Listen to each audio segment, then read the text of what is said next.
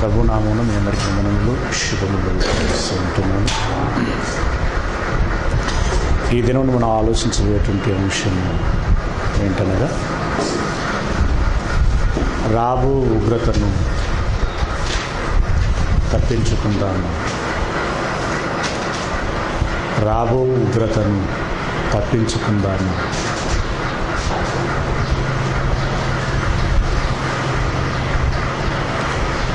ప్రియమైనటువంటి దేవుని వారలరా ప్రపంచంలో ఎన్నో రకాలైనటువంటి ఉత్పాతాలను ప్రకృతి విభత్సాలను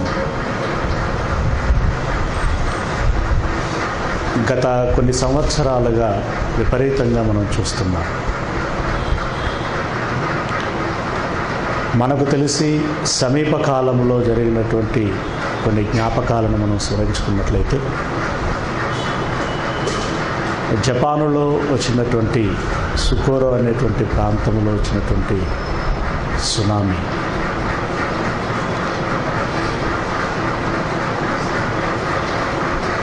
అక్కడ ఉన్నటువంటి లక్షలాది మంది ప్రాణాలను హరించి వేసింది. లెక్కకు అందనటువంటి ఆస్తి నష్టాన్ని కలిగించింది. ఇక ఇండోనేషియాలో వచ్చినటువంటి సునామీ ప్రభావం మన భారతదేశం కూడా చూసింది. ఒక ఇండోనేషియాలోనే మూడు లక్షల మంది సునామీలో చనిపోవటం జరిగింది. ఇక ఆస్తి నష్టం గురించి లెక్కల్లో చెప్పలేనటువంటి విషయం. దేశానికి దేశమే నీటిలో మునిగిపోయినటువంటి పరిస్థితి. ఇక మన భారతదేశ విషయంలోనికి వస్తే ఒకనాడు గుజరాత్ రాష్ట్రంలో కచ్ అనేటువంటి ప్రాంతంలో వచ్చినటువంటి భూ భూకంపం భారతదేశాన్ని భయప్రాంతాలకు చేసింది గురి చేసింది. ఆస్తి నష్టం ప్రాణ నష్టం విపరీతంగా జరుగుతుంది ఇక మొన్నటికి మొన్న విశాఖపట్నంలో విరుచుకుపడినటువంటి తుఫాను హృదు హృదు అనేటువంటి తుఫాను. ప్రాణ నష్టము లేకపోయినా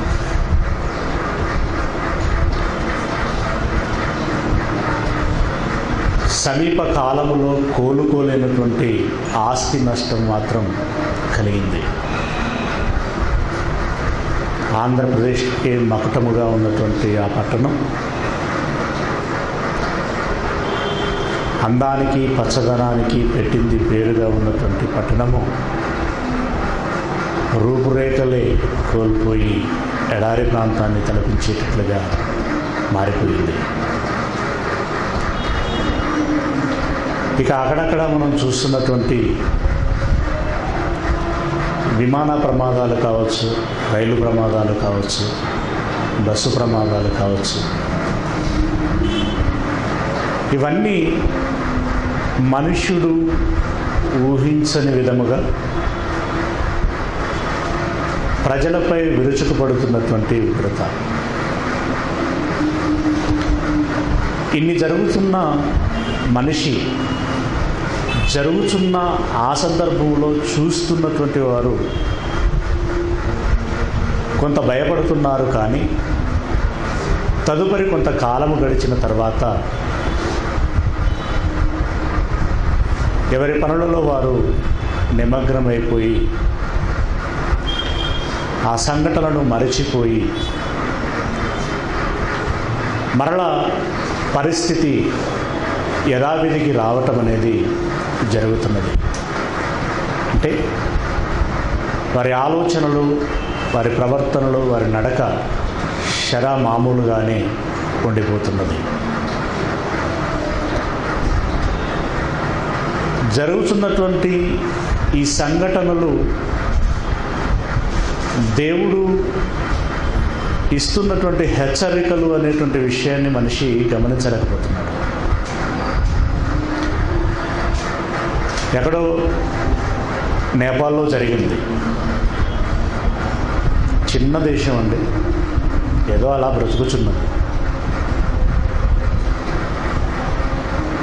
దాని కేంద్ర పట్టణం. నిజంగా ఇందులో ఆలోచించవలసినటువంటి చారిత్రక నేపథ్యం ఏంటంటే ప్రపంచ దేశాలలో అన్నింటిలో అడపాదడప ఏదో ఒక ప్రాంతంలో భూకంపాలు వస్తూనే ఉన్నాయి. తుఫాన్లు లేదంటే సునామీలు తదితరులైనటువంటివి వస్తూనే ఉన్నాయి. నేపాల్లో ఇలాంటి సంఘటనలు కనిపించలేదు. అరుదు భూకంపము అనేది గత ఎనభై సంవత్సరాలుగా నేపాల్లో రాలేదు. అప్పుడు ప్రపంచ ప్రజలందరి దృష్టి ముఖ్యంగా ప్రజలు ఎవరు ఆలోచించారులే కానీ శాస్త్రవేత్తలు. శాస్త్రవేత్తల దృష్టి అంతా కూడా నేపాల్ మీద పడింది. ఎందుకు ఇక్కడ భూకంపం రావటం లేదు? దీని మీద రీసెర్చ్ చేయాలి. మరి ఎన్ని రోజులు రావటం లేదంటే రాక రాక ఒకసారే పెద్ద ఎత్తున వచ్చేటువంటి ప్రమాదములే ప్రమాదాలు ఏమైనా ఉండొచ్చునేమో అని ప్రపంచ పరిశోధన సంస్థలన్నీ కూడా ఈ యొక్క నేపాల్ దేశం మీద కాన్సన్ట్రేషన్ చేస్తూనే ఉన్నాయి. పరిశోధనలు ప్రతిదినం చేస్తూనే ఉన్నారు అన్ని దేశాలు స్కోప్ చేస్తున్నాయి. అందరూ చూస్తూనే ఉన్నారు పరిశోధనలు జరుగుతూనే ఉన్నాయి. అద్దాలలో చూస్తున్నారు కంప్యూటర్లలో చూస్తున్నారు. అండ్ ప్రింటౌట్లు తీస్తున్నారు. పేపర్ మీద గ్రాఫ్లు గీస్తున్నారు. అన్నీ అవుతున్నాయి. వీళ్ళ పనిలో వీళ్ళు ఉన్నారు. మిట్ట మధ్యాహ్నం వేళ. రెండు కుదుపులు కుదిపాడు దేవుడు. ఆల్మోస్ట్ కాట్మాండ్ అంతా కూలింది పరిసర ప్రాంతాలు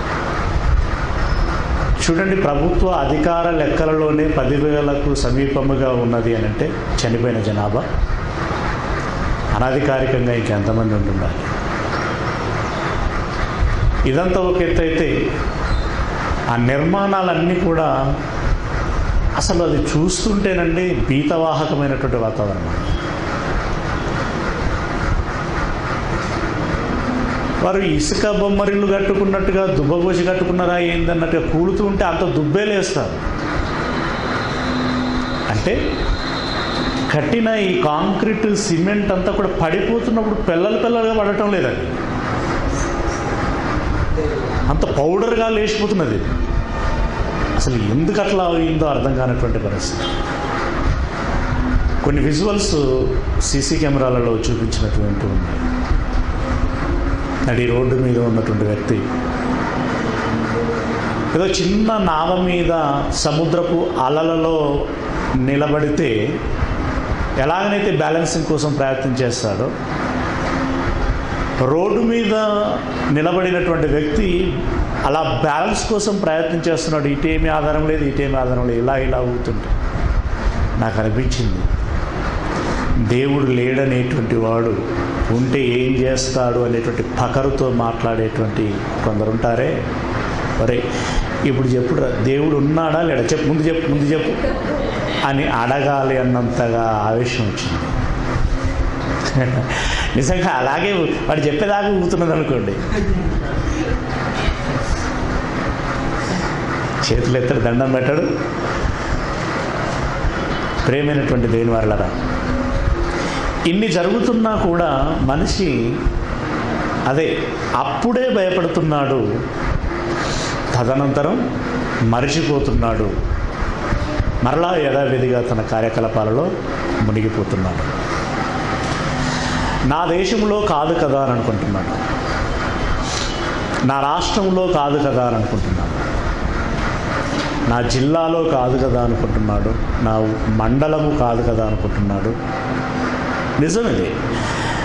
నా ఊరు కాదు కదా అని అనుకుంటున్నాడు నా వాడ నా ఇల్లు కాదు కదా అని అనుకుంటున్నాడు. చివరికి నేను కాదు కదా అని అనుకుంటూనే బ్రతుకుతున్నటువంటి క్రమములో ఉగ్రత తన మీదికి వస్తే ఆ భయంకరమైనటువంటి ఆ క్షోభని అనుభవించి వెళ్ళిపోతున్నాడే కానీ మారటానికి మాత్రం మనిషి ప్రయత్నించటం లేదు. ఏమండి? వాతావరణ పరిశోధన కేంద్రం వాళ్ళు ఈ వర్షాలను గురించి కానీ ఈ ప్రకృతి సంబంధమైనటువంటి సమస్యల గురించి హెచ్చరికలు జారీ చేస్తూ ఉంటారు. తుఫానులు వస్తున్నాయి అనుకుంటా ఒకటో నెంబర్ హెచ్చరిక జారీ చేశారు. రెండవ నెంబర్ మూడవ నెంబర్ నాలుగో నెంబర్ అని హెచ్చరిక జారీ చేస్తారు ఒకటో నెంబర్ హెచ్చరిక జారీ చేశారు అని అంటే ఎందుకైనా మంచిది కాస్త గమనిస్తూ ఉండండి. రెండవ నెంబరు జారీ చేశారు అని అంటే మీ జాగ్రత్తలో మీరు ఉండండి ఎప్పుడు ఎలా ప్రమాదం ఉంచుకొస్తుందో జాగ్రత్తలో ఉండండి. మూడో నెంబర్ హెచ్చరిక జారీ చేశారు అని అంటే అక్కడి నుండి మీరు వేకట్ చేయండి. అక్కడ ఉండకూడదు మీరు. ఆ వరసల ప్రాంతాలలో మీరు ఉండకూడదు. నాలుగో నెంబర్ హెచ్చరిక జారీ చేశారు అని అంటే అక్కడ ఉన్న వాళ్ళందరూ అయిపోయారు అని అర్థం. వాళ్ళు హెచ్చరికలు జారీ చేసినప్పుడు మనం జాగ్రత్త పడితే కొంతవరకు ఆ ప్రమాదం నుండి మనలను మనం కాపాడుకునేటువంటి అవకాశం ఉంటుంది. దాన్ని పట్టించుకోకపోతే అనుభవించవలసి వస్తుంది. కదా? అలాగే ఇప్పుడు మనం హైదరాబాద్ లాంటి పట్టణంలో జనాభా రద్దీగా ఉండేటువంటి ప్రాంతాలలో కానివ్వండి చౌరస్తాలలో కానివ్వండి రామధ్యలో ఉగ్రవాదుల యొక్క దాడులు జరిగిన తర్వాత మరి మైకు పెట్టి కొన్ని అనౌన్స్మెంట్లు ఇవ్వటం ప్రారంభించారు. అనుమానాస్పద వ్యక్తులు కానీ వస్తువులు కానీ మీకు కనిపించిన ఎడల దూరముగా జరిగి సంబంధిత అధికారులకి సమాచారము ఇవ్వండి. సంఘటన జరిగిన పది రోజులు బాగానే ఇచ్చిండు సమాచారం. దూరంగానే ఉన్నారు. తర్వాత దాన్ని పట్టించుకున్నోడే లేడు. పట్టించుకుంటే పరిస్థితుల్లో కొంత మెరుగు ఉంటుంది. ఏమండి? ఒక దారిలో మనం వెళ్ళడానికి ప్రయత్నం చేస్తున్నటువంటి క్రమంలో అటు నుండి వస్తున్నటువంటి వ్యక్తి ఏమండి ఈ దారి అటు క్లోజ్ చేయబడింది నేను అక్కడ దాకా వెళ్ళొస్తున్నాను అని అన్నప్పుడు అవునా థ్యాంక్స్ అండి నేను కూడా అక్కడికి వెళ్తుంటుని ముందు చెప్పి నాకు చాలా మేలు చేశారు. అని చెప్పేసి దారి మార్చుకొని వెళ్ళిపోతాడు అంటే మనుషులు చెప్పేటువంటి ఈ మాటలకు విలువనిస్తున్నటువంటి ఈ వ్యక్తి వాస్తవానికి విశాఖపట్నంలో ప్రాణ నష్టం జరగకపోవడానికి కారణం హెచ్చరికను దృష్టిలో పెట్టుకొని దూరంగా ఉండటం మూలంగానే ప్రాణ నష్టం జరగలేదు. ఇలా మనుషులు ఇచ్చినటువంటి హెచ్చరికలను గమనిస్తున్నటువంటి ఈ మనిషి వింటున్నటువంటి మనిషి తదనుగుణంగా మలుచుకుంటున్నటువంటి ఈ వ్యక్తి. ఎదుగో ఉగ్రత వస్తున్నది అని దేవుడు చెబితే దాన్ని ఎవడు చెవిన పట్టించుకున్నటువంటి పరిస్థితి లేదు. అన్యులు ఇది మతము అని అంటున్నారు. క్రైస్తవులు ఏదో బోధకుడు చెబుతున్నంతసేపు కొంత అలా ఆలోచిస్తూ ఉంటాడు ఏదో హెచ్చరించబడినట్టుగా ఉంటాడు. బయటికి వెళ్ళిన తర్వాత ఆ హెచ్చరికనంతా అణిచేస్తాడు. మరలా సమాజంలో కలిసిపోతూనే ఉంటాడు. చర్చిలో ఉన్నంతసేపు భయం వస్తుంది. భక్తి వస్తుంది. అట్లా కాదు ఇట్లా ఉండాలి అని అనుకుంటాడు. అండ్ బయటికి వెళ్ళిన తర్వాత మరల లోకమును చూసేసరికి ఈ చర్చిలో ఇవ్వబడినటువంటి హెచ్చరికను అణిచేస్తాడు. వాడే విన్నవాడే తనకు తానే. అణిచేసుకొని సమాజంలో కలిసిపో కలిసిపోతూ ఉంటాడు. ఏమండి? ఇది ఈనాటి సమాజం యొక్క పరిస్థితి. కనీసం మనమైన ఈ కొద్ది మందిమైన మన కోసము మొదటగా మన తండ్రి కోసము ఈ సమాజం కోసము ఆలోచించడం దేవుని ఆ హెచ్చరికలు ఏంటో గమనించుదాం. మార్చుకుందాం. పరిస్థితిని మెరుగుపరుచుకుందాం. బాప్తిసం ఇచ్చేటువంటి యోహాను గారు ఆ యోర్ధాను నది ప్రాంతంలోనికి వచ్చి బాప్తిసం ఇస్తున్నటువంటి కాలంలో ఎందుకు ఆయన గద్దింపును బట్టు మరి విషయం ఏంటనేది అంతగా అర్థం కాదు కానీ జనులు మాత్రం గుంపులుగా గుంపులు గుంపులుగా వచ్చేసారు బాప్తిసం ఇవ్వండి అని చెప్పేసి యోహాన్ని అడుగుతున్నారు అప్పుడు ఆ గుంపులందరినీ జనాలందరినీ చూసినటువంటి యోహాను వారిని హెచ్చరిస్తున్నాడు గద్దిస్తున్నాడు. ఏమని హెచ్చరిస్తున్నాడు అని మనం చూడగలిగినట్లయితే మతైసు వార్త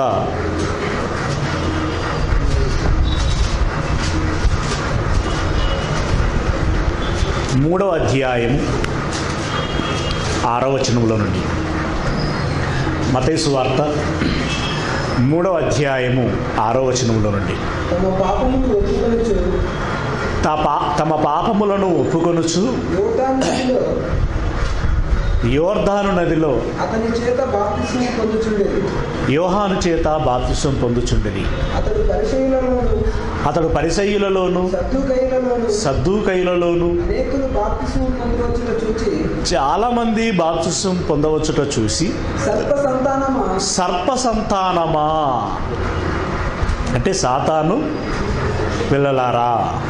అంటే అప్పటి వరకు సాతాను పంచన ఉన్నటువంటి వారు.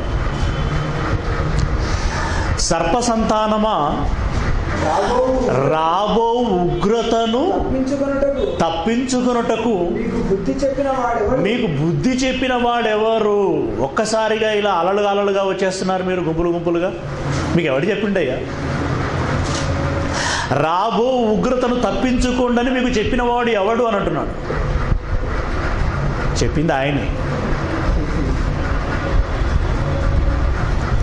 అంటే విషయం ఏంటంటే ఇన్ని రోజులు మీరు నిద్రపోయారు ఇన్ని రోజులు మీరు మగతలో ఉన్నారు ప్రవక్తలు చెప్పినా మీరు పట్టించుకోలేదు. ఎందుకంటే నేను వచ్చి హెచ్చరించేసరికి ఎందుకైనా మంచిది అన్నట్టుగా వస్తున్నారా? నిజంగా మారి వస్తున్నారా? మేము అబ్రహాం పిల్లలం కాబట్టి ఈ ఆచారాలను పాటించాలని వస్తున్నారా? ఏమనుస్తున్నారు? రాబో ఉగ్రతను తప్పించుకున్నటకు మీకు బుద్ధి చెప్పినవాడు ఎవడు? మారు మనసు పొంది బాప్తిజం తీసుకోవటానికి వస్తుంటే మంచిదే. మంచిదే. కానీ మీకు ఈ మాట చెప్పిన వారెవరు అని పలుకుతూ అందులో నొక్కి వక్కానిస్తున్నటువంటి విషయం ఏంటంటే రాబో ఉగ్రతను తప్పించుకోవాలి. అంటే ఒక ఉగ్రత అనేది రాబోచున్నది. ఒక ఉగ్రత అనేది రాబోచున్నది. దాన్ని తప్పించుకోవాలి. దాన్ని తప్పించుకోవాలంటే ఏం చేయాలో కింద చెబుతున్నాడు. మారు మనస్సునకు తగిన ఫలమును ఫలించండి. ఏదో నేను హెచ్చరించగానే వచ్చి నీళ్ళల్లో మునిగిపోవటం కాదు.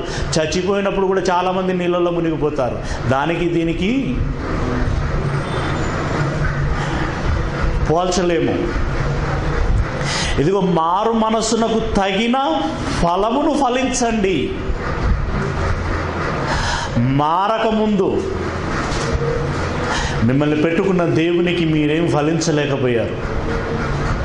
మీ మనస్సు మారిందా? మీ మనస్సు మారితే చాలా సంతోషం. అది నీకు మంచిది. అది నీకు గొప్పతనం గర్వకారణం.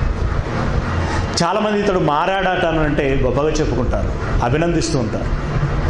మరి దానికి తగినట్లుగా నీ మార్పు క్రియలు ఉండాలి కదా? దానికి తగినట్లుగా నీ మార్పు ఫలాలు నీ కన్నతండ్రికి అందించాలి కదా? మార్పు ఫలాలు నీ యుద్ధ నుండి బయటికి రావాలి కదా?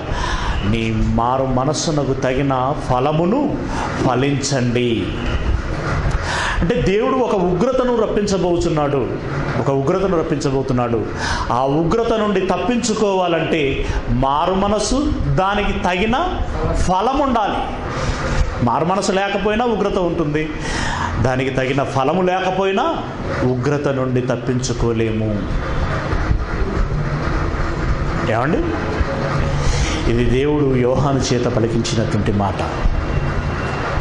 శాస్త్రవేత్తలు హెచ్చరించిన హెచ్చరిక అయినా తప్పిపోవచ్చునేమో కానీ ఎందుకంటే రాబోయే ఇరవై నాలుగు గంటల్లో కుండపోత వర్షం అని అంటారు. అప్పుడప్పుడు చినుకు కూడా పడదు. ఈరోజు మేఘము ఆకాశం నిర్ నిర్మలంగా ఉంటుంది అని అంటారు. ఆ సాయంత్రమే ఉరుములతో కూడినటువంటి పిడుగులు పడతాయి.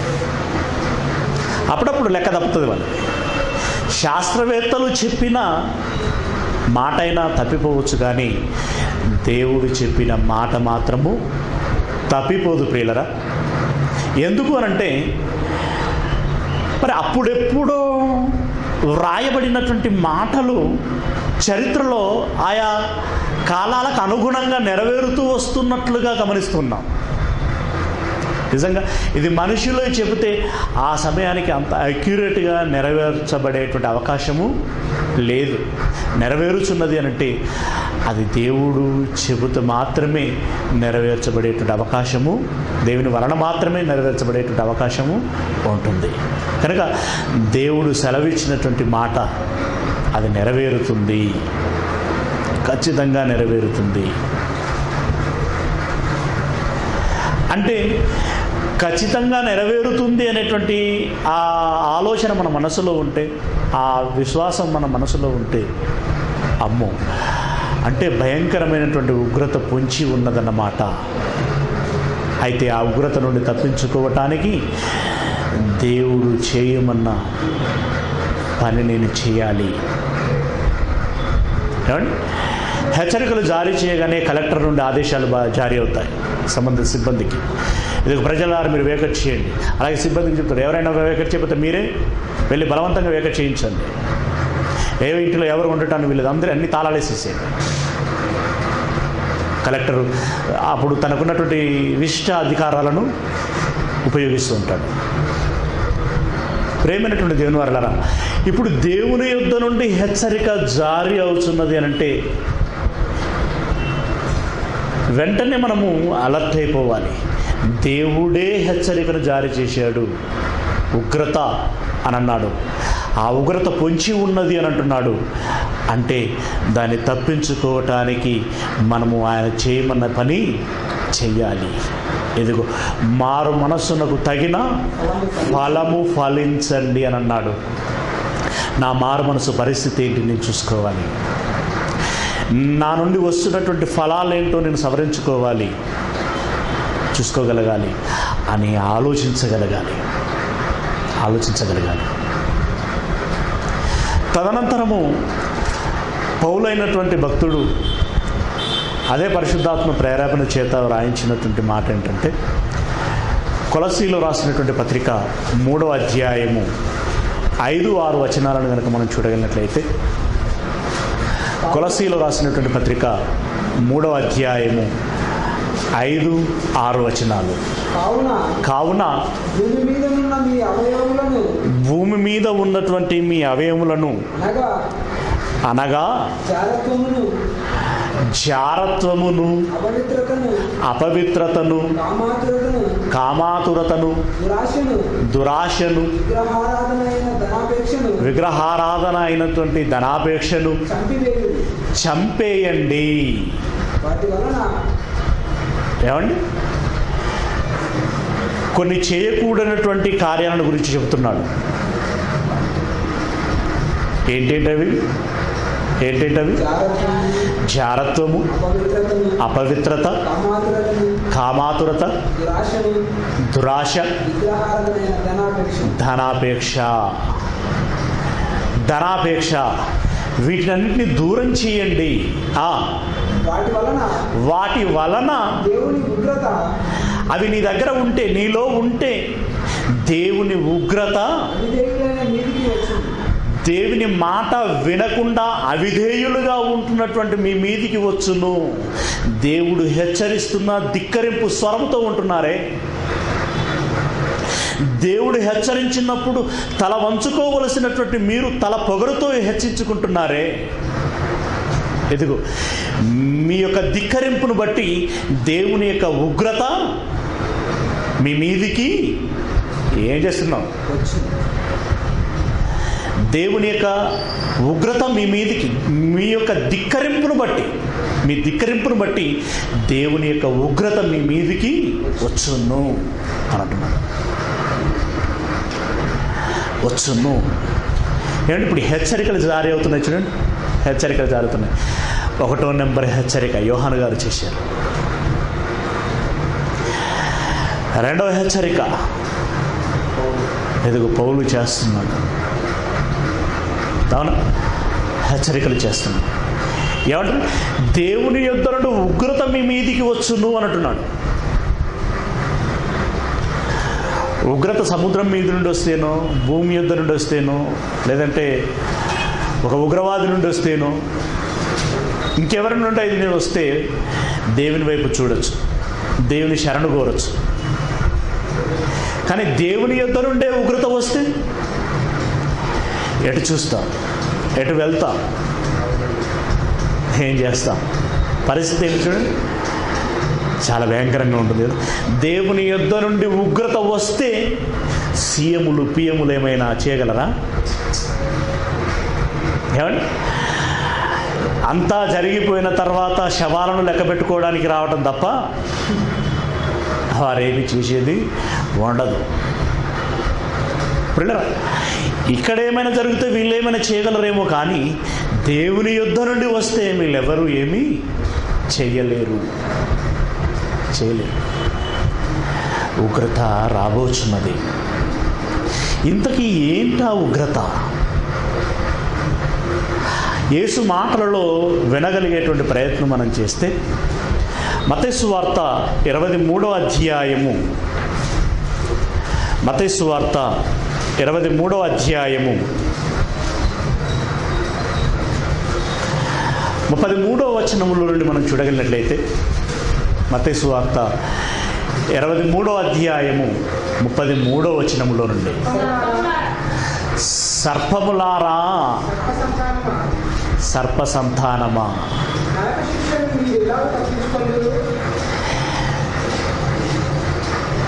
పామంత భయంకరం అండి మనం.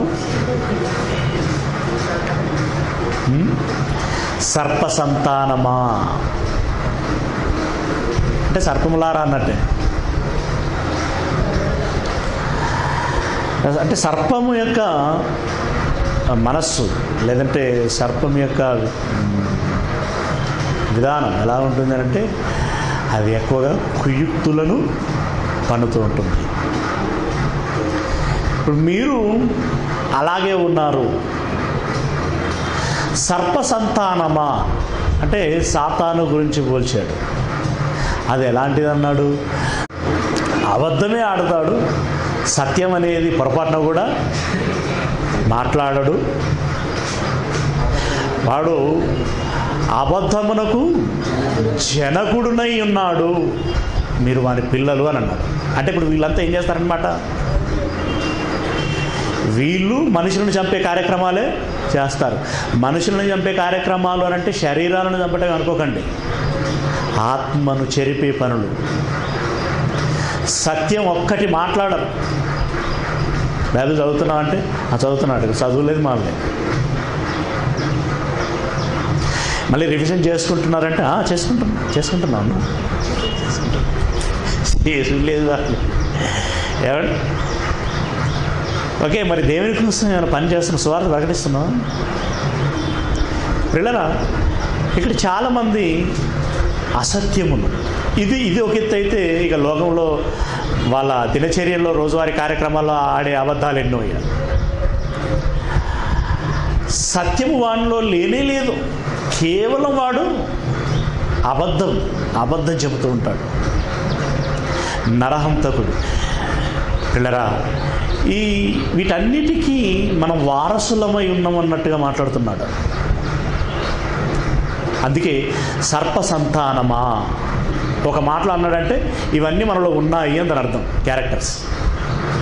ఇలాంటి వారిని ఉద్దేశించి ఏమంటున్నాడు సర్ప సంతానమా నరక శిక్షను మీరేలాగు తప్పించుకుందురు. రాబో ఉగ్రతను తప్పించుకున్నటకు మీకు బుద్ధి చెప్పిన వాడెవడు? అని యోహన్ అన్నాడు. రాబో ఉగ్రతను తప్పించుకున్నటకు మీకు బుద్ధి చెప్పిన వాడెవడు? ఏసై ఏమంటున్నాడు? నరక శిక్షను మీరు ఎలాగూ తప్పించుకుందురు? తప్పించుకున్నటకు మీకు బుద్ధి చెప్పిన వాడెవడు? మీరేలాగూ తప్పించుకుందురు? అంటే ఇంతకీ ఆ రాబోతున్నటువంటి ఉగ్రత ఏంటంట ఏంటనమాట నరకం. ఈ సునామీలు భూకంపాలు ఇవి చిన్న చిన్నవి ఏదో అప్పుడప్పుడు చిటికన గోరతో ఇలా ఇలా అంటున్నాడు గీకుతున్నాడు అంతే. చల్లదనాన్ని కురిపించుతున్నటువంటి వెలుగు లాంటి దేవుడు రేపు ఎరుపు కాబోతున్నాడు. అగ్నిని కురిపించటానికి. నరకం. ఎందుకంటే ఆయనను నెమ్మదిగా ఉంచడం లేదు కదా మనం ప్రశాంతంగా ఉండనీయటం లేదు కదా మనం? ఆయన ఆయనని ఆగ్రహోద్రగ్ని చేస్తున్నాం మనం. అప్పుడు ఆయన దహించు అగ్ని అయిపోతాడు ఆర్తనాదాలు చేసిన లాభమేమీ ఉండదు. ప్రియ దేవుని పిల్లరా దేవుని యొద్ద నుండి వస్తున్నటువంటి హెచ్చరిక ఈ నరక శిక్షను మీరు ఎలాగూ తప్పించుకుందరు. అంటే మీరు ఇక తప్పించుకోలేరు అంటున్నాడు ఫైనల్ చేసేస్తున్నాడు. మీరు ఇలా ఉంటే మీ పరిస్థితి ఇలా ఉంటే ఇక మీరు ఎలా తప్పించుకుందరు అంటే ఇలాగే ఉంటే మీరు ఇక తప్పించుకోలేరు. హెచ్చరిక. ఒకటో ఒకటో హెచ్చరిక రెండో హెచ్చరిక మూడో హెచ్చరిక. ఇలా వరసబడి వస్తున్న చూడండి నరక శిక్షను మీరేలాగూ తప్పించుకుందరు. పిల్లరా వీరు హెచ్చరిస్తున్నారన్న మాటే కానీ వారు అది గుండెల నిండా బాధతో హెచ్చరిస్తున్నటువంటి హెచ్చరిక అండి అది. ఈ హెచ్ ఈ నరక శిక్షను మీరు ఎలాగూ తప్పించుకుందరు. ఇదిగో దేవుని యుద్ధ నుండి ఉగ్రత దిగివచ్చుచున్నది అని వాళ్ళు బాధతో హెచ్చరిస్తున్నారు. చూసే వారికి అంత బాధ ఉంటే అనుభవించబోయేటువంటి వారికి అనుభవిస్తున్నటువంటి వారికి ఇంకెంత బాధ ఉండాలి? ఇంకెంత బాధ ఉండాలి? ఆలోచించండి. భయంకరమైనటువంటి బాధ భయంకరమైనటువంటి పరిస్థితి. రాబోయేటువంటి ఆ నరక శిక్షను మీరు ఎలాగూ తప్పించుకుందరు? ఎలాగూ తప్పించుకుందరు? చాలామంది భూమి మీద ఏదైనా ఇన్సిడెంట్ జరిగినప్పుడు అందుకే ఇలా జరిగింది అందుకే ఇలా జరిగింది అని పోల్చుకుంటూ ఉంటారు.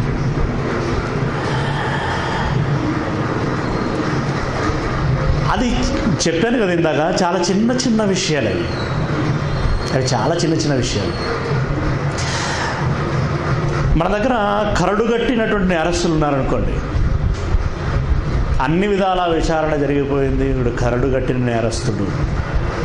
తేల్చబడింది. ఇక వీడి జీవితంలో మారే అవకాశం లేదు. ఉన్మాది అయిపోయాడు. ఇలాంటి ఖైదీలను మన భారతదేశం సహజంగా ఎక్కడ ఖైదీలో ఉంచుతుంది? తీహార్ లేదా అండమాన్ జైల్లో వస్తుంది మన దగ్గర ఉంచరు ఎందుకంటే వాళ్ళు అంతటి భయంకరులు అన్నమాట. మరి మనం? మనల్ని శిక్షించటానికి ఇది సరిపోదు ఇక్కడ సరిపోదు. భూకంపాలు సునామీలు ఇవి సరిపోవు. నిజం? ఎందుకంటే మనం వాళ్ళకంటే భయంకరులు. ఎవరికంటే? తీహారు అండమాను జైలులో ఉన్నటువంటి వాళ్ళకంటే భయంకరులు. ఎందుకు భయంకరంగా అనాల్సి వస్తున్నది అంటే పిల్లరా వారికి తెలియక మూర్ఖ పనులు చేస్తున్నారు. మనం తెలిసి దాన్ని అని చేసుకొని మూర్ఖ పనులు చేస్తున్నాం కనుక ఆ- ఆ రకంగా మనం ఆ కోణంలో ఆలోచిస్తే వాళ్ళకంటే భయంకరం. కనుక మనకి ఇక్కడ శిక్ష సరిపోదు. అందుకే ఇక మరల బయటికి రాకుండానట్లుగా పాతాళమందు ఉన్నటువంటి నరకములోనికి పంపించేస్తున్నాడు నరకంలోనికి పంపించేస్తున్నాడు. ప్రియ దేవుని పిల్లలరా ఆలోచించాలి. దేవుడు ఎందుకు ఇంత కఠినమైనటువంటి నిర్ణయాన్ని తీసుకుంటున్నాడు? ఎందుకు నన్ను ఇలా చేస్తున్నాడు? నాకెందుకు ఈ ఈ యొక్క పరిస్థితి ఈ భవిష్యత్తునిస్తున్నాడు ఆలోచించవలసినటువంటి విషయం. వీరికి మరి పరిస్థితి ఇలా ఉంది కదా ఈ భయంకరమైనటువంటి పరిస్థితి ఉంది కదా. అయ్యో చెప్పుదాము. కొంతనైనా ఆ మనిషిలో మార్పు తీసుకొద్దాము అని ప్రయత్నం చేస్తే అసలు వినే నాదుడెవరండి వినే నాదుడెవరు చెప్పండి? మొన్న మరి పద్దెనిమిది వేల రూపాయలు. సరే మన లెక్క మనకు ఉంటుంది. కానీ అది ఎవరిని దృష్టి ఎవరిని దృష్టిలో పెట్టుకుని ఆ కార్యక్రమం చేశామో? అక్కడ మాత్రం నీళ్ళలో పోసినట్టు అయింది కదా? అంత ధనం? అంటే వినేవాడు లేడు అని. దేవుని మాటకు విలువనిచ్చేవాడు లేడు. అదే ఏదైనా డ్యాన్స్ ప్రోగ్రాంలు జరుగుతున్నాయంటే ఇంకేమైనా ఎంటర్టైన్మెంట్ కార్యక్రమాలు జరుగుతున్నాయంటే చూడండి టికెట్ దొరకటం లేదు. కుప్పలు కుప్పలుగా. ఎవరైనా స్టార్ వచ్చారు అనంటే దాన్ని చూడటానికి ఎగబడుతున్న పరిస్థితి. అర్ధరాత్రి వరకు వేచి చూస్తున్నటువంటి పరిస్థితి. కానీ దేవుని వాక్యాన్ని అన్ని అనువైనటువంటి వాతావరణం కలిగించి వారికి చల్లగా మంచి వెలుతురులో మంచి కుర్చీలు వేసి కూర్చుండబెట్టి వాక్యాన్ని వినిపిస్తాం ఆలోచ ఆలోచించండారా అని అంటే ఆలోచించేటువంటి పరిస్థితిలో మనిషి లేడు. ఇప్పుడు దేవుడు ఏం చేయాలి చెప్పండి? ఏం చేస్తే న్యాయం చెప్పండి? వారికి ఎలాంటి శాస్త్రి జరుగుతుంది న్యాయం చెప్పండి. పైగా ఇలా ఉంటే కుదరదు. అమ్మ నమ్- మీరు వినండి మారండి బాగుపడండి అని అంటే అంతగా అవసరం ఉంటే ఆయనని మార్చుకోమనండి. ఎవరు ఎవరు? దేవుడే వీళ్ళని మార్చుకోవాలట. ఆయన గరుచు. వీళ్ళు మారరట. ఏమండి? ఇదిగో నువ్వు నువ్వు ఎక్కడంటే చెప్పుకో కానీ మా ఇంటికి వచ్చి మాకు ఎవర మా వాళ్ళకి ఎవరికి వాక్యం చెప్పకు. మాకు వాక్యం చెప్పకు. మేము మారం మాకు అవసరం లేదు. ఇంకా అలా మాట మాట దమ్ముంటే రెండు మార్చు. నీ దమ్ముంటే రెండు మార్చు. నువ్వు మార్చలేవు నన్ను. బా ఎంత భయంకరమైన మాట అండి అది. నువ్వు నన్ను మార్చలేవు అని అంటే వాడు ఎంత మొండి బండ కంటే భయంకరంగా మారిపోయాడు అని అర్థం. బండ కంటే భయంకరంగా మారిపోయాడు. పిల్లరా ఇలా దిగజారిపోతున్నటువంటి ఈ సమాజము నరకానికి జారిపోబోతున్నది. ఇలాంటి వారిని కాపాడేది ఎవరండి? ఆ నరకమును గురించి ఏమన్నాడు? మరొకసారి విశ్లేషణ చేసుకుందాం. మార్క్స్ వార్త తొమ్మిదో అధ్యాయము నలభై ఎనిమిదో వచనం. మార్క్స్ వార్త తొమ్మిదో అధ్యాయము నలభై ఎనిమిదో వచనం. నరకమున వారి పురుగు చావదు అగ్ని ఆరదు. దీన్ని మీరు ఇప్పుడు మిమ్మల్ని అడుగుతున్నానండి బయటల విషయం పక్కబెడితే మీరు ఏమని అర్థం చేసుకుంటున్నారు దీన్ని? ఎంత దీని తీవ్రత ఒకసారి చెప్పండి మీ మాటలలో. దీని తీవ్రత నిజంగా మాటలు సరిపోవండి మనకి. దీని తీవ్రత చెప్పాలి అని అంటే దీని తీవ్రత చెప్పాలంటే మాటలు సరిపోవు. నిజంగా ఆ భూకంపం వచ్చి పైకప్పు మీద ప- మీద పడి కాళ్ళు రెక్కలు ఇరిగి ప్రాణం పోక మూడు రోజుల నుండి ఎల్లెలకల పడుకొని ఇలా ఎదురు చూస్తున్నటువంటి వాడికి ఆ బాధ బహుశా నరకం అంటే ఇదేనేమో కాబోలు అనుకుంటా ఉంటాడు. అంతే కదా ఆ పరిస్థితిలో ఉన్నాడు. నరకం అంటే ఇదేనేమో అనుకుంటాడు కానీ నరకం అది కాదు. లక్షల భూకంపాలు వస్తే పరిస్థితి ఎలా ఉంటుందో దాన్ని మించింది నరకం. లక్షల సునామీలు వస్తే పరిస్థితి ఎలా ఉంటుందో దాన్ని మించింది నరకం. లక్షల అగ్ని లాభాలు ఎగిసిపడుతుంటాయి. దాన్ని మించింది నరకం. భయంకరమైనటువంటి రోగాలతో విరుచుకుపడి విరుచుకుపడి రకరకాలైన తెగుళ్ళతో మనుషులను కుప్పలు కుప్పలు ఊడ్చిపడేస్తుందే. దాన్ని మించింది నరకం. ఎబోలా అనేది వచ్చింది చూసారా? ఏంటంటే అది ఎంత వేగం? అటాక్ అయిన టెన్ మినిట్స్లో షాల్తి గల్లంతో. అటాక్ అయిన టెన్ మినిట్స్.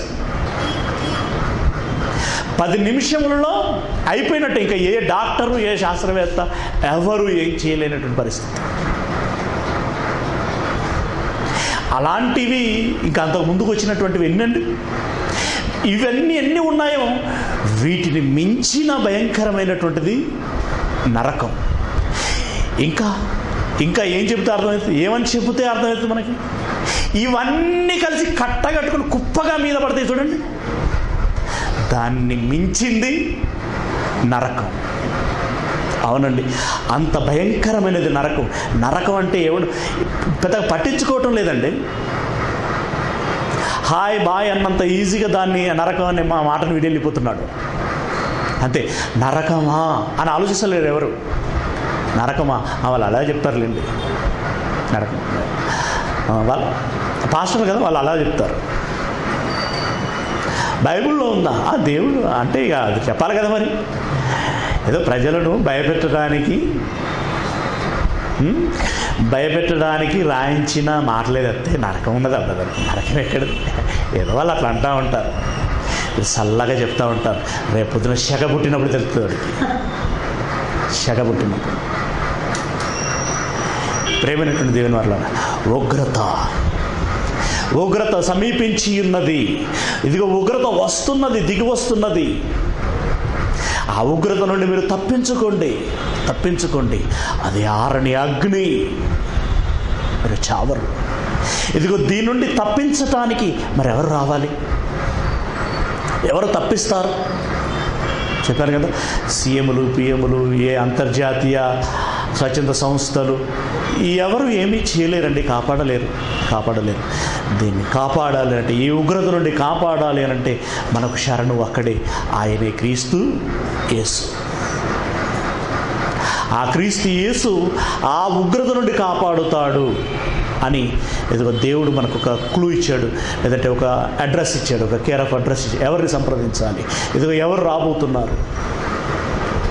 మీరు ఎవరి కోసం వేచి చూడాలి? మీరు ఎవరు పక్షముగా వెళ్ళాలి. ఎవరి దగ్గరికి వెళ్ళాలి?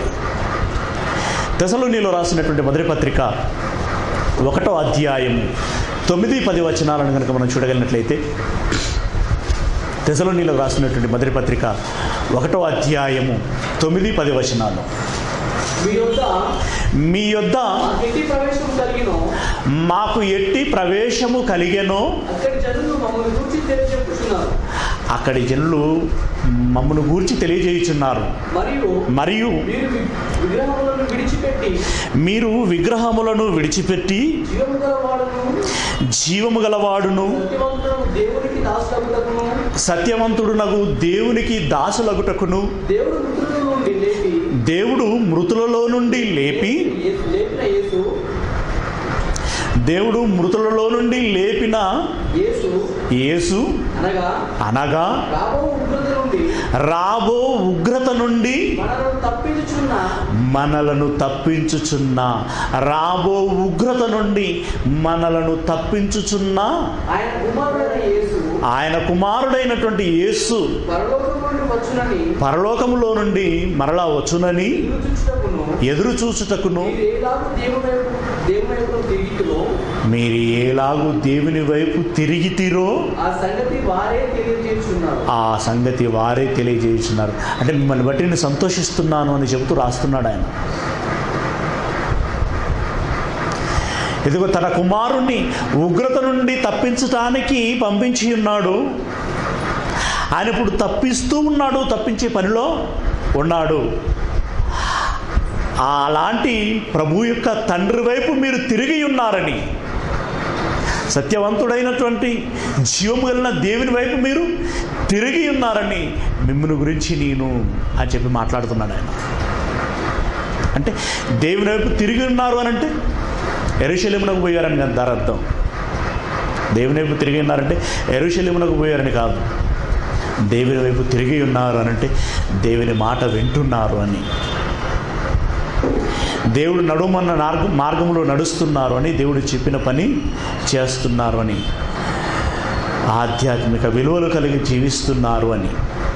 తప్పు చేయకుండా పాపం చేయకుండా మంచి మాత్రమే చేస్తూ నీతి కార్యములను జరిగిస్తూ పరిశుద్ధంగా బ్రతుకుచు. ఉంటున్నారు అని అర్థం. అలా ఉన్నటువంటి వారు ఎదుగు క్రీస్తు యేసు చే- యేసు చేత ఉగ్రత నుండి తప్పించబడుచున్నారు. అంటే ఉగ్రత నుండి ఆయన మనల్ని తప్పిస్తాడు. తప్పిస్తాడు. ఇప్పటికీ ఆ ప్రాసెస్లో ఉన్నాడు పనిలో ఉన్నాడు. ఇప్పుడు మనము ప్రస్తుతం మనము ఆ ఉగ్రతల నుండి తప్పించుకోవాలంటే ఆ దేవుని వైపు మనం తిరగాలి. ఆ దేవుని యుద్ధనే మనము ఉండాలి. ఆయన సన్నిధి నుండి మళ్ళీ దూరం జరగకూడదు. పిల్లల మనం ఎక్కడ ఉన్నా మనం ఎక్కడ ఉన్నా మనం దైవ సన్నిధిలో ఉండాలి. దైవ సన్నిధిలో ఉండాలి. మనము మన ఆలోచనలో ఆయన చుట్టూ తిరిగితే ఆయన సన్నిధి మన చుట్టూ ఉంటుంది. ఏమండి? మన హృదయంలో ఆయనకు చోటుంటే ఆయన హృదయంలో ఆయన హృదయంలో మనకు చోటు ఉంటుంది. మనం ఆయన వైపు చూడగలిగితే ఆయన మన వైపు చూడగలుగుతాడు చూడలేదా? ఎడబాటు వచ్చేస్తుంది. దూరం జరుగుతుంది దూరం జరిగిపోయామా? మరొకడు ఆకర్షిస్తాడు. మరొకడు లాక్కుంటాడు. రాబట్టుకుంటాడు. వాడు సాతాను. వాడు నరహంతకుడు సుమా. వాడు నరహంతకుడు అయినా వాణ్ణే ప్రేమిస్తున్నారు వాణ్ణి నమ్ముతున్నారు. వాని యుద్ధకి వెళుతున్నారు. నేను కాపాడుతానురా అని చెప్పి కాపాడుతూ ఇప్పటికీ కాపాడుతూ ఇక మీ భవిష్యత్తు కూడా నేను కాపాడుతాను అని చెప్పి అంటున్నటువంటి అతని యొక్క ఆర్తనాదాలని కేకలని మాత్రం పట్టించుకునేటువంటి వారు లేరు. వినాలి వినాలి అంటాడు కనుక బ్రిల్లర్ మనం విందాం. మనం విందాం. మనం మారుదాం మనం దేవుని వైపు దేవుని యుద్ధకు వద్దాం. దేవుని ఇష్ట ప్రకారంగా దేవుని ఆలోచనల ప్రకారంగా మనం జీవించుదాం. ఆ ఉగ్రత నుండి తప్పించుకుందాం. తెలిసి తెలిసి ఆ హెచ్చరికను పట్టించుకునకుండా ఎందుకు ఆ ప్రమాదంలో పడదాం? ఎందుకు ఆ ప్రమాదంలో పడదాం? ఎందుకు వచ్చిన బాధ మనకది? అలా దేవునికి వైరుధ్యమైనటువంటి ఆలోచనలలో ఉండమని ఎవరైనా ఎవరైనా మనం బలవంతం చేస్తున్నారా? చేస్తున్నారు. ఆయనతో మాత్రం మనం పోవాలనే ఉంది. ఎవరైనా కష్టపెడుతున్నారా? కష్టపెడుతున్నారు కావచ్చు. ఆయనంత మాత్రం మనం పోవాలనే ఉంది. ఎంత ఎంతకాలం బలవంతం చేస్తారు? ఎంతకాలం కష్టపెడతారు? కొద్ది దినములే కదా. ఆ కొద్ది దినములు మనం ఓర్చుకోగలిగితే ఆ కొద్ది దినములు మనం పోటీ చేయగలిగితే పోరాటం చేయగలిగితే ఆ కొద్ది కాలం మనం ఎదురీదగలిగితే ఏమండి? ఎలాగో దేవుడు చెప్పాడు మీరు ప్రయత్నించండి మీరు ప్రయత్నించండి మీరు కొద్ది దూరం నడవండి ఆ తర్వాత దేవుడే మిమ్మల్ని నడిపిస్తాడు అన్నాడు. కనుక మనం ప్రయత్నిద్దాం. ఆయన మాట విందాం. యోహన్ సువార్త ఎనిమిదో అధ్యాయం యాభై ఒకటో వచ్చినం యోహన్ సువార్త ఎనిమిదో అధ్యాయం యాభై ఒకటో వచ్చినము ఒకడు నా మాట గైకురిన ఎడల వాడి అన్నడును మరణము పొందడని మీతో నిశ్చయముగా చెప్పుచున్నానని మీతో నిశ్చయముగా చెప్పుచున్నాను. దేవుడు అభయంతో ఇస్తున్నటువంటి మాట ఇది. ప్రభు అయినటువంటి యేసు అభయంతో ఇస్తున్నటువంటి మాట. ఒకడు నా మాట గైకొనిన ఎడల. గైకొనిన ఎడల అంటే? నా మాట విని ఆ మాట ప్రకారము క్రమం తప్పకుండా జీవించిన ఎడల. ఒకడు నా మాట గైకొనిన ఎడల నిశ్చయముగా మరణము పొందడని. నిశ్చయముగా చెప్పుచున్నాను. వాడు ఎన్నడూ మరణం పొందడు. అంటే ఆ భయంకరమైనటువంటి ఆ ప్రమాదములోనికి వెళ్ళడు. అంటే రాబు ఉగ్రతలోనికి వాడు వెళ్ళడు. పరమునకు చేరుతాడు. నిత్యము జీవిస్తాడు. నిత్యము జీవిస్తాడు. కనుక ఏసయ్య మాటలు మనం విందాం. జాగ్రత్త పడి. పిల్లల ఇదిగో ఇక్కడ కూర్చున్నటువంటి మీరందరూ మనసు పెట్టాలని మనసారా కోరుకుంటున్నాను నేను. మనమైనా ఈ మాటలను ఆలకిద్దాం. ఈ మాటలను హృదయంలో ఉంచుకుందాం. తదనుగుణంగా నడుచుకుందాం. ఆ ఉగ్రతను తప్పించుకుందాం. అందుకోసం మనం ప్రయత్నం చేద్దాం. విశేషమైనటువంటి ప్రయత్నం చేద్దాం. మన ప్రయత్నాన్ని మరికొందరు ఫాలో అయ్యేటట్లుగా చేద్దాం. నెట్టికి ఆ ఉగ్రత నుండి తప్పించుకుందాం. మొద్దుబారిన నిద్రలో మనం ఉండకూడదు. ఏమండి? ఆ మగతలో మనం ఉండకూడదు. మగతలో ఉండకూడదు. మేల్కొనాలి. మనోనేత్రములు తెరుచుకొని ఉండాలి. జాగ్రత్త పడాలి. పశువుకు ఒక దెబ్బ మనిషికి ఒక మాట అని అన్నారు ఒక్క మాట కాదు వేలాది లక్షలాది మాటలు రాయించాడు. ఇన్ని మాటలు విన్నా కూడా ఇక మనం మారకపోతే దేంతో పోల్చాలి చెప్పండి? దేంతో పోల్చాలి? కనుక మనకు మనమే ఆలోచించుకొని ఒక తండ్రిగా మనకు చేసినటువంటి హెచ్చరిక మన మనసులో పెట్టుకొని పిల్లలముగా మనము జాగ్రత్త పడి తండ్రి చెంతకు చేరి ఈ ఉగ్రత నుండి తప్పించుకుందాం. శశిశ్యామలమైనటువంటి ఆనందకరమైనటువంటి ఆ పరలోకానికి చేరుకుందాం. తప్పకుండా మీరందరూ ఆ ప్రయత్నం చేస్తారని ఆశిస్తూ ఈ మాటలు ముగిస్తున్నాను.